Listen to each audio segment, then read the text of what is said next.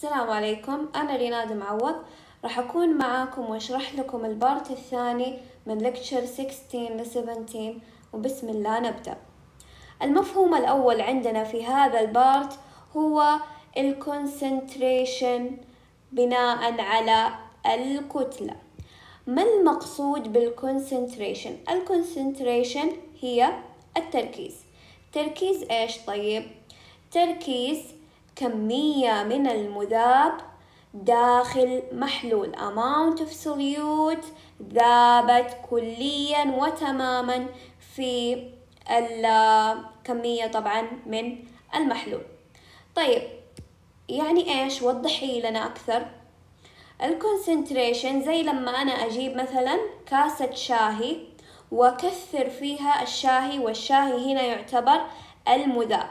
والمذيب عندنا ال solvent اللي هو ال water فلو زدت عدد حبات الشاهي آه كذا أنا كونت تركيز عالي في المحلول. وتكون عندنا محلول مركز جدا آه وهذا هو أبسط مثال طبعا على ال concentration جاء هنا وقال لنا ال concentration هذا حيأثر على الخصائص الفيزيائية وأيضا الكيميائية. طبعا بغير بغض النظر عن الأمثلة هذه حيأثر على كل الخصائص الفيزيائية الأخرى زي ال melting and boiling point عندنا التجمد أي خاصية فيزيائية قدامكم. وعندنا ال chemical طبعا زي اللي هو ال reactivity أو ال solution reactivity التفاعلات داخل اللي هو المحلول بالإضافة للتغيرات الكيميائية الأخرى. فعلى سبيل المثال لو جبنا آه وجينا نتكلم يعني عن ال physical. ال physical لما أنا مثلا أجيب كاسة زي كذا هذه كاسة واحد هذه كاسة اثنين وحطيت كمية مثلا خلينا نقول من الملح قليلة زي كذا وكمية كبيرة من الملح خلينا نقول زي كذا هذا كله ملح وهذا كله ملح. وقلت يلا حطوا لي إياها في الفريزر. مين راح يتجمد أسرع هذا رقم واحد ولا رقم اثنين؟ حنقول هنا رقم واحد ليش؟ لأنه كمية المذاب عندنا قليلة تمام؟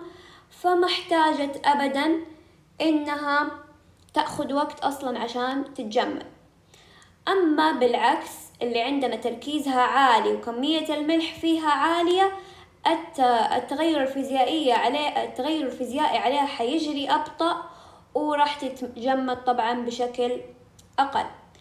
في الكيميكال لو جينا نقول مثلا أنا عندي حبة بنادول تمام؟ قال لي الدكتور وصف لي وقال لي خذي يا ريناد مثلا حبتين بنادول.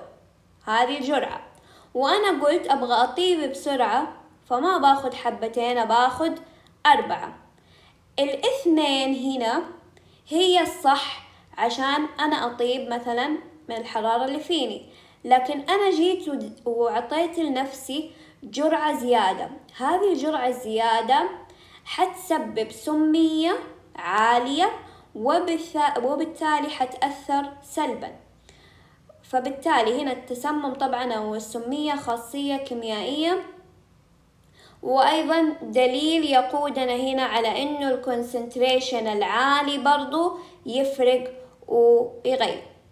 نيجي نتكلم هنا عن ال mass بناء على ال volume في ال concentration فقال لنا في ال concentration لو جبتي لي كمية من المذاب اقسميها يلا على كمية من المذيب أو قصدي كمية من المحلول. بس كيف؟ إيش حنعمل؟ يقول لنا هنا إنه هو يبغى ذا المذاب أول حالة يبغاه بالجرام. ومرة يبغى لنا إننا نجيبه بالملي. تمام؟ بس ما ننسى إننا نضرب في النسبة المئوية لأنه هو يبغى عندنا percent زي ما قال لنا. فال concentration الأول الحالة الأولى حتكون لو تتذكروا كمان ال density تقريبا هو نفس قانون ال density اللي هو القلب هذاك حقنا. نفس قانونه ولكن أضيف عليه إنه إحنا لازم نضرب في مية لأننا إحنا نبغى نجيب نسبة تركيز مو تركيز لحاله. وزي ما قلنا المذيب عندنا أو المذاب حيكون بالجرام والمحلول بالملي. ونجي هنا نطبق.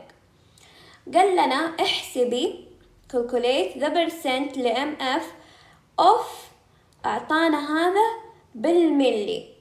والملي إحنا قلنا يدل على إيش؟ على ال solution من غير ما يقول لنا أصلا ملي solution طيب وأعطانا حاجة بالجرام. حتكون أكيد في البسط لل sodium chloride.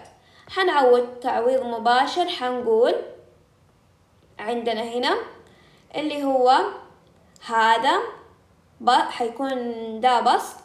أيوة. وهذا حيكون في المقام فحنقول عشرين على اثنين point zero في عشرة أس اثنين ونضرب في ال percent ما ننسى وحيطلع لنا الناتج عشرة percent تمام؟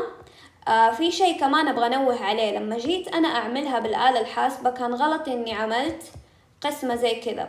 وحطيت العشرين هنا وحطيت الرقم الثاني هنا. بعد ما خلصت رحت ضربت بمية وطلع لي الناتج مختلف تماما. فانتبهوا لهذه الناحية. واضربوا زي كذا أو اقسموا زي كذا واضربوا مرة واحدة في الآلة الحاسبة دخلوها. نيجي هنا نحسب بالمثال الثاني. أعطانا نفس الحكاية. قال لنا هنا 7.50 مضروبة في عشرة ملي إذا هنا ال volume بس هذه المرة أعطانا ال concentration فإيش حنقول؟ حنقول خمسطعش مضروبة أو تساوي هذا الفوليوم اللي هو معطيني إياه 7.50 مقسوم أو مضروب في عشرة أس اثنين على الإكس المجهولة حقتنا أو اللي هو عندنا الأم ونضرب بعد كذا في المية وحيطلع الناتج المفروض زي كذا. لو جينا هنا راح تكون نفس الفكرة عشان ما نطول حيكون تعويض مباشر. هذا في البسط وهذا في المقام ولا تنسوا الضرب في مية وحيطلع بالنسبة المئوية 12 percent هنا نفس فكرة السؤال الثاني اللي حليناه. وهو معطينا هنا الملي حتكون طبعا اللي بالملي في المقام ومعطينا ال concentration حيكون كذا يعني حتكون شكل المعادلة زي كذا. يساوي اللي بالملي لتر هذه حتكون هنا وال X أو الجرام يعني اللي بالجرام حتكون هنا. ونضرب في مية ما ننسى والمفروض يطلع لنا الناتج زي كذا. نجي هنا للحالة الثانية من ال concentration أول كنا نتكلم عن mass و volume الحين حنتكلم عن mass و mass نبدل. mass و mass لإيش؟ برضنا في ال solute وبرضنا في ال solution وبرضنا حنضرب في مية لأننا نبغى percent نيجي هنا نشوف المثال اللي هو معطينا إياه. فقال لنا طبعا آه أيوة ملاحظة مهمة. أول شيء عندنا المثال اللي فوق كان عبارة عن حاجة ذابت ذابت في سائل لذلك بالملي لتر آه لأنه السائل هنا هو اللي ذوب. أما هنا الماس والماس حيكون طبعا للمواد الصلبة اختلاط المواد الصلبة. فنجي هنا.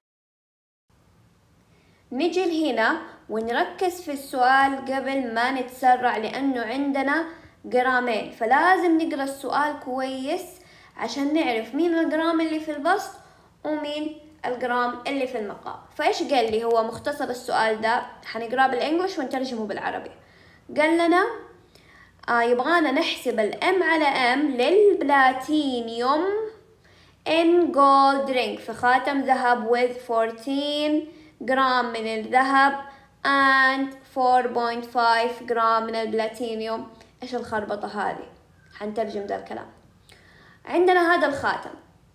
الخاتم يحتوي يقول لنا ذهب AU ويحتوي على بلاتينيوم. تمام؟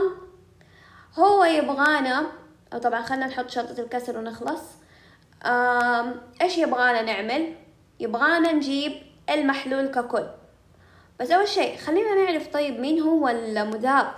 المذاب باختصار هو الرقم الصغير اللي موجود عندي أربعة بوينت خمسة. تمام؟ طيب خلصنا من المذاب. المذيب أو المحلول مين؟ هذا؟ لو قلتوا هذا غلط. إحنا مو قلنا الخاتم مو بس ذهب يحتوي كمان نسبة من البلاتينيوم.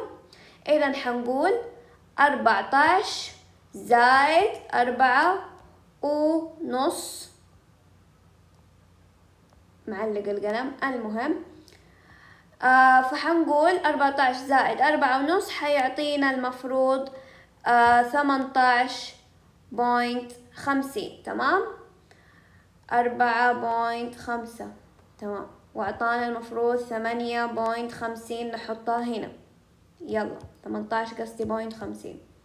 okay وبعدين نضرب في مية عادي طبيعي ونجيب الناتج اللي هو هذا. طيب. الحالة الثانية الحين من ال concentration volume و volume وهذه تكون للسوائل اللي ذابت آه في محلول سائل. فنجي نقول نفس القانون. نركز هنا. volume بس هنا volume والمقام برضو volume مضروبة في المية.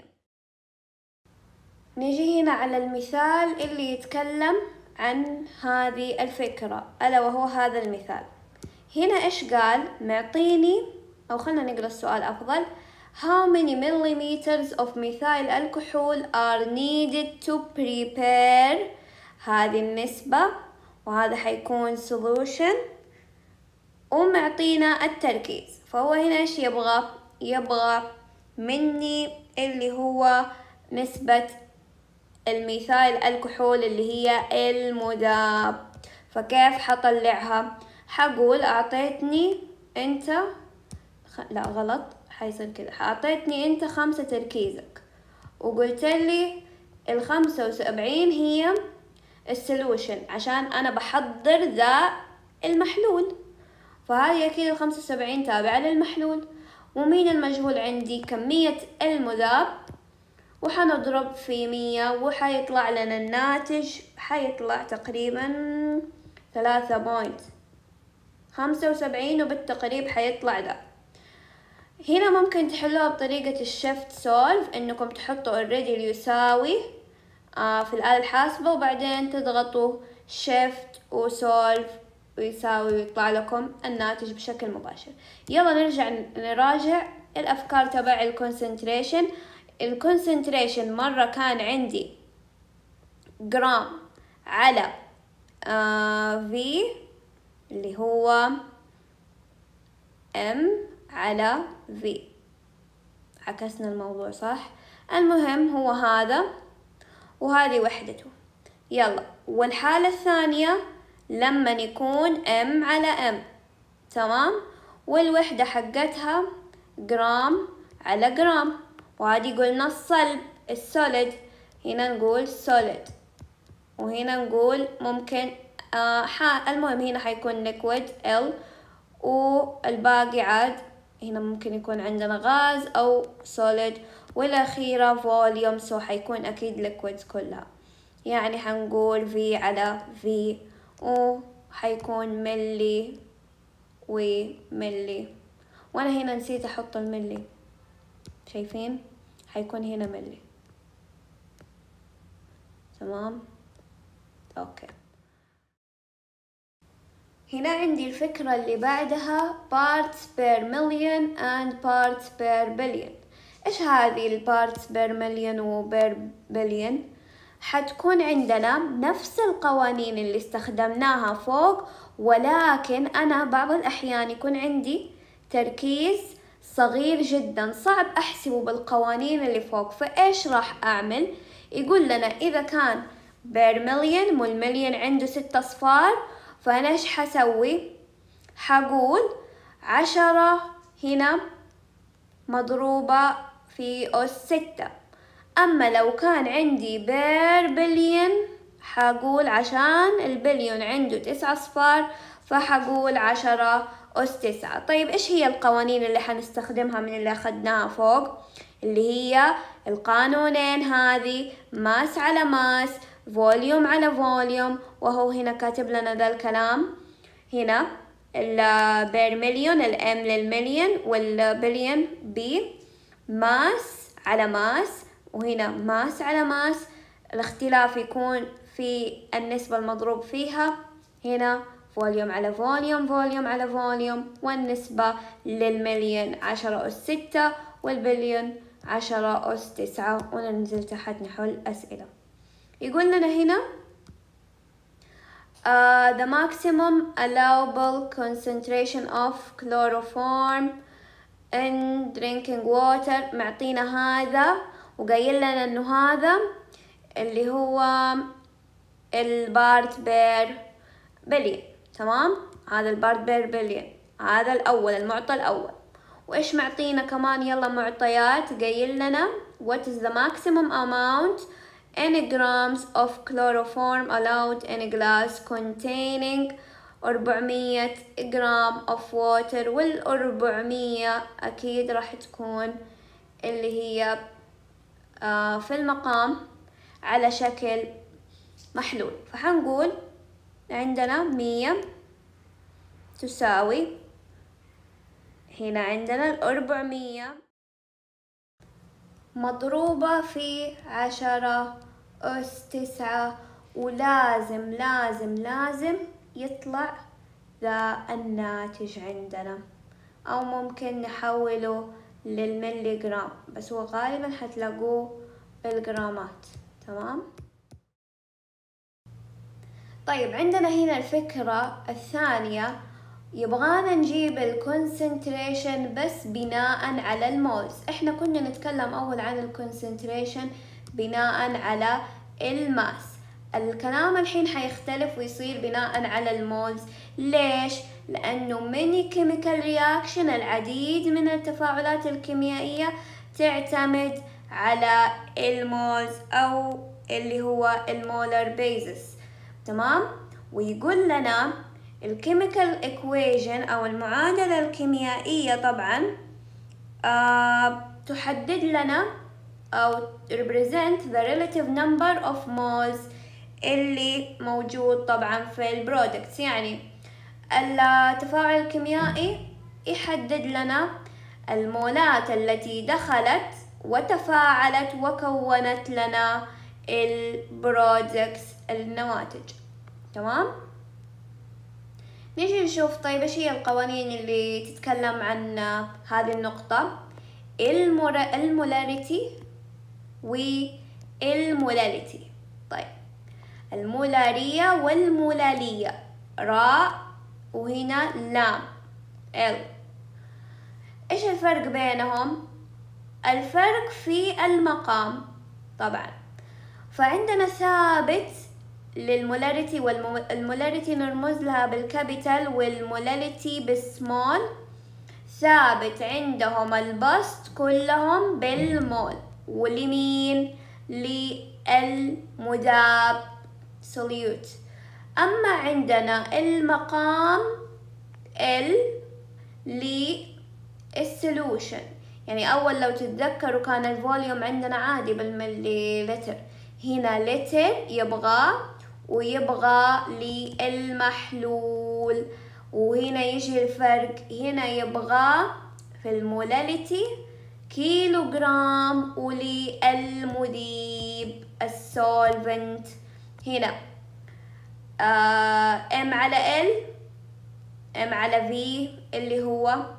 وهنا M على كيلو جرام M على N يعني كذا ممكن نقول يعني لو نبغى نختصر. وهنا M على اللي هو ال V بس طبعا هذه ال M ترمز للمولات عشان ما تلخبطوا وتخلطوها بحاجة ثانية. طيب نجي هنا ونشوف. قال لنا يبغانا نحسب ال molarity وال molarity ثبتنا قوانينها مول على اللي هو ال V لل solution تمام؟ يلا نشوف. أعطانا ذا باللتر حيكون هنا على طول. وأعطانا ذا وأعطانا إياه بالمول. حيكون هنا على طول. تعويض مباشر زي ما أنتم شايفين. وهنا ركزوا صح؟ ما في نسبة مئوية. خلاص خلصنا من موضوع النسب فوق لما كان مع ال mass. هنا ما في نسبة مئوية. فحنقول تعويض مباشر آه خمسة على اثنين والمفروض يطلع لنا ال molarity هذا. تمام. هنا جاء وأعطانا فكرة. الفكرة تقول عندنا خمسة جرام من الجلوكوز وإحنا لسه بال molarity وال molarity قلنا ما فيها grams. طيب إيش حنعمل؟ حنشوف. وأعطانا ال volume وقال لنا كالكوليت المولاريتي. طيب إيش حنقول؟ أعطانا هو المركب جلوكوز. الجلوكوز عبارة عن إيش؟ عبارة عن C 6 H 12 والO 6 إيش حنعمل؟ حنجيب ال molar mass حقتهم. لو تعرفوا تطلعوا ال molar mass عندنا ستة ذرات والكربون هنا عندنا.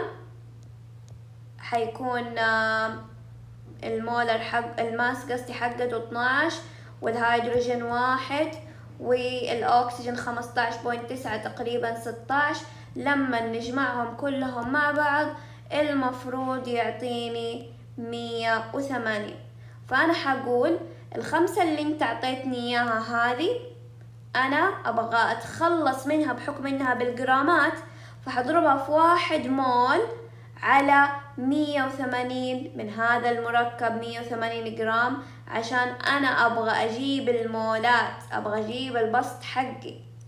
جرام يروح مع جرام ولما نضربهم في بعض المفروض يعطينا ده الرقم تمام؟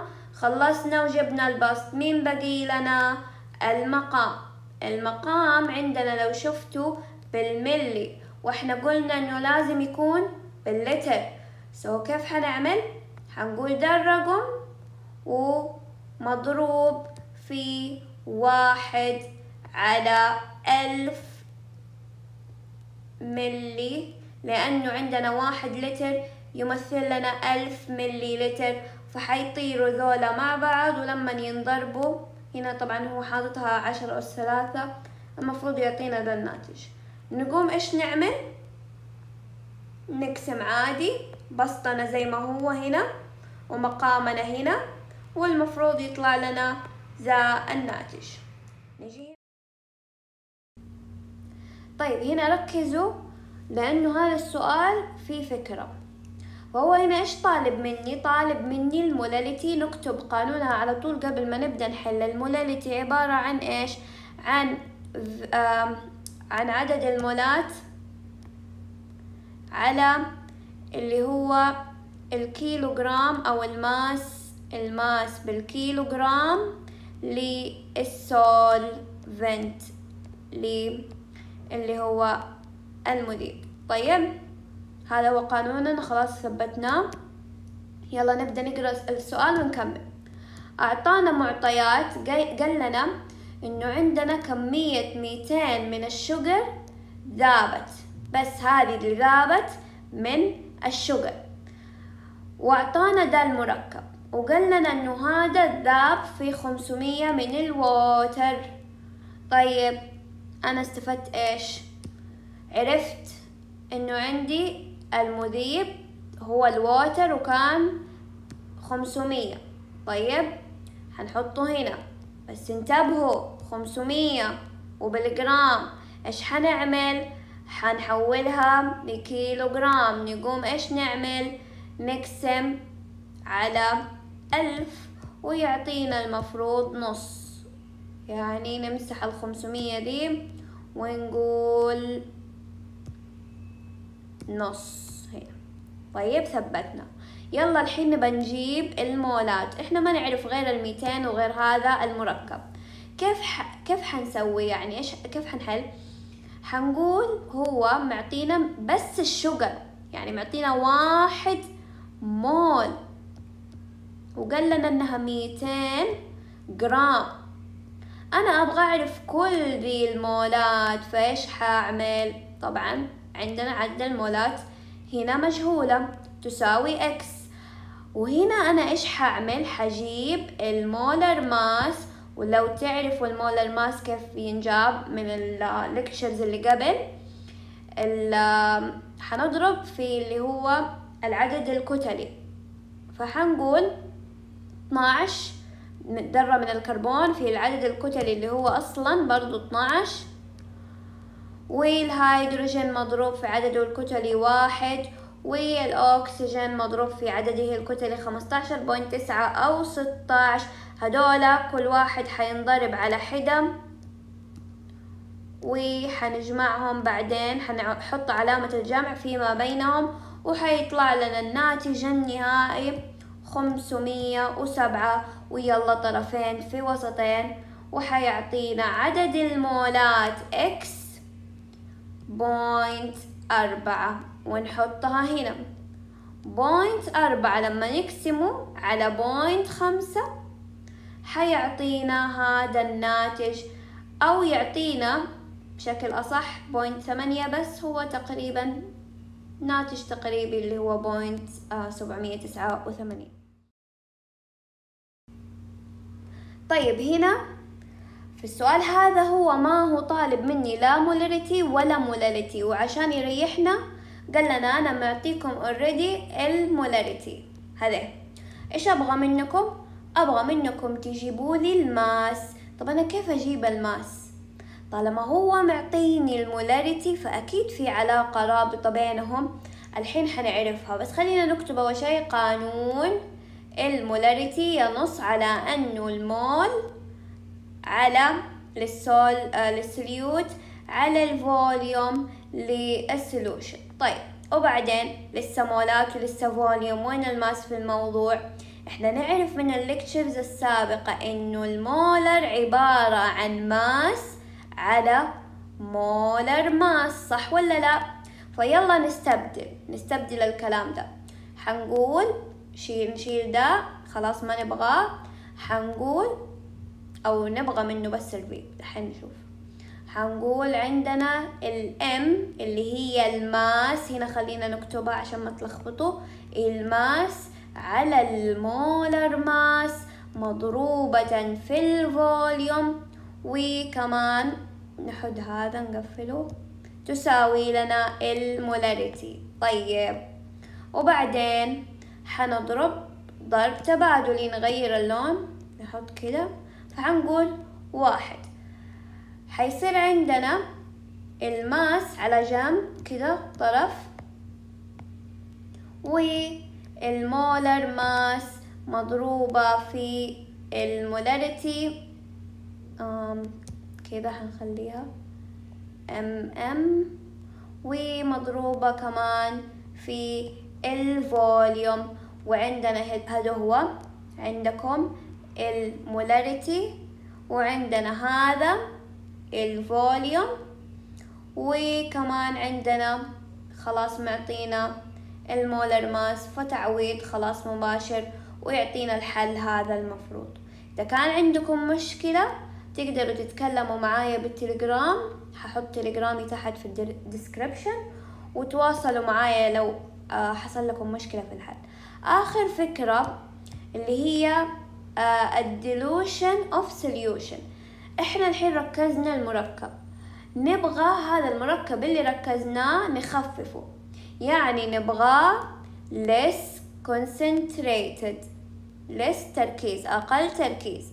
يعني ننقله من التركيز العالي من ال more concentrated لل less concentrated من more less طيب فإيش القانون؟ أكيد القانون فيه before and after صح ولا لا؟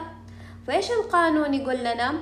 يقول لنا ال molarity الأولى ال before حتنضرب في ال V الأولى طبعا هو له طريقة آه، استنتاج بناء على القوانين السابقة بس خلاص احفظوها كده وريحوا راسكم لأنه استنتاج مو مطلوب فحيكون آه السابق اللي هو كان مور على آه أو يساوي ال M2 وال V2 اللي هي بعد التخفيف قبل هنا كانت مركزة وقبل التخفيف وهنا بعد التخفيف اللي هي after. تمام؟